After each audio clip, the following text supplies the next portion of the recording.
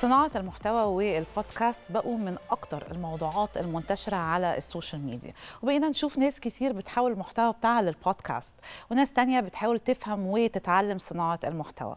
ضيفتنا النهاردة متخصصة في أنها تقدم فيديوهات تعليمية في صناعة المحتوى وتحديدا المحتوى الصوتي والبودكاست. وبالرغم من سنها الصغير إلا أنها بيتابعها أكتر من نص مليون شخص على ال social media عشان يعرفوا منها معلومات عن صناعة المحتوى الصوتي. وطبعا كل ده بالإضافة إنها الصوت الرسمي لواحد من المواقع الشهيرة في مصر. مشرفنا النهارده صانعة المحتوى آية نصر.